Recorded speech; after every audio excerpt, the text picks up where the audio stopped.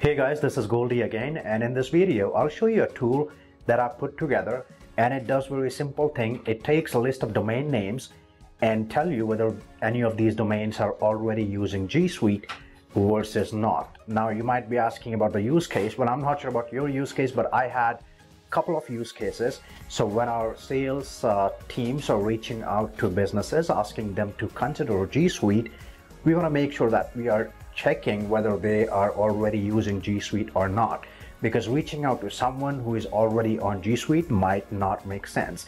Another use case that I had is uh, when we do G Suite deployments uh, for enterprises, usually these enterprises have like more than 100 plus uh, domains. And to check which domains are already using G Suite and which ones are not, it's very painful, very manual because I already had this script, I thought let's publish that as a Google Sheet extension.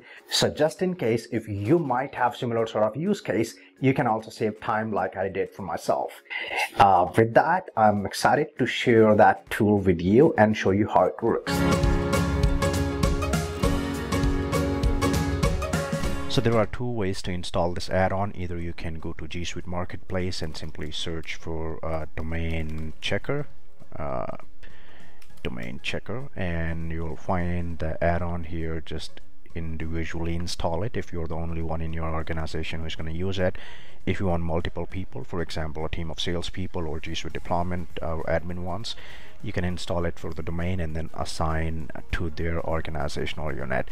But in case if you are not uh, installing it for the organization you can simply go to G Suite uh, Google Sheets or your uh, personal Google Sheet and then from the add-ons click on get add-ons and then search the add-on gallery for a domain checker.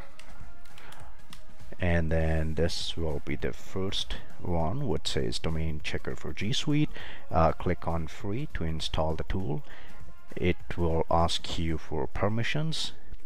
You can read more about these permissions but essentially this what this does is it just connects uh, externally and figure out whether these domains are using G Suite or not by doing a call to a G Suite uh, URL and then using the regex to figure that out.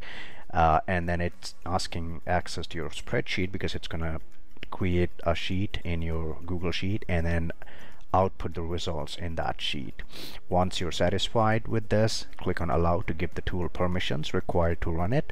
And as soon as you do that, you will see that tool has been installed and then you will go to add-ons you will go to domain checker for G Suite you will find this uh, setup wizard. Click on the setup sheets uh, link to create a Google Sheet. So click on that. It will create the sheet which says check domains with two columns. One is domain names one is the G Suite status. Now you don't need to put anything in G Suite status. It's something which tool or the add-on will output that you can put the list of domains here. So what I did I just uh, went to Google and uh, I found a list of 20 most expensive domains and I guess that's interesting to just put it here.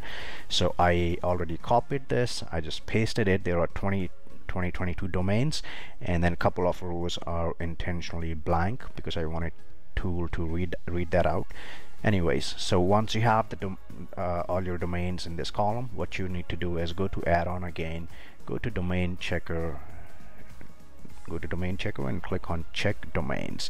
The tool will check for uh, these domains G Suite status one by one and within a few seconds it will give you the output along with some visuals. So as we see here there are 23 domains this tool checked. Uh, 14 are already using G Suite 7 are not and 2 were blank rows because we did not provide uh, the domain name there hopefully if you have similar use case and you might have if you're watching this video uh, you may save some of your time. So with that thank you so much. As usual if you have any questions comments feedback do not hesitate to put your comments under this video and I will be happy to help.